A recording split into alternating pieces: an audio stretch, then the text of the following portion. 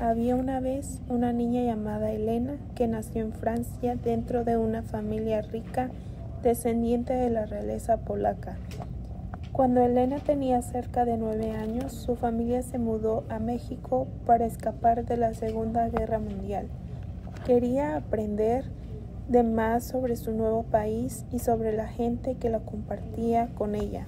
Y una de las mejores formas de hacerlo era convirtiéndose en reportera.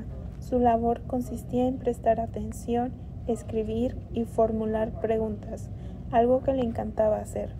Obtuvo su primer trabajo en un diario a los 21 años.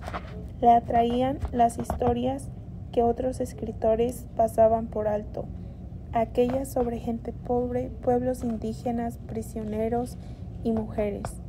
Escribió docenas de obras, incluyendo ensayos, libros de no ficción, artículos, novelas, poesía y libros infantiles.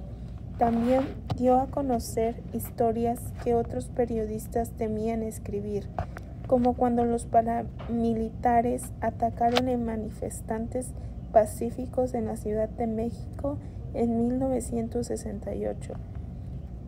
Elena tuvo el suficiente valor como para narrarlo y aunque la amenazaron, creía que su libro sobre la matanza debía difundirse.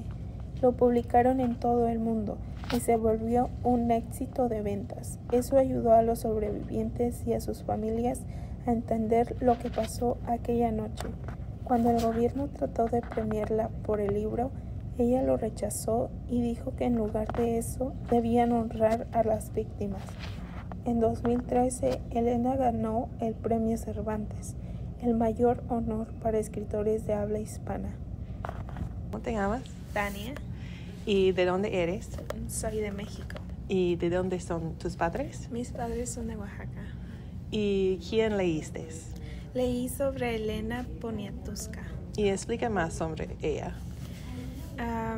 lo que a mí me gustó sobre ella también es que ella escribía cuando tuvo que trabajar, fue en lo que encontró más su pasión y entrevistaba o hacía historias sobre cualquier tipo de personas.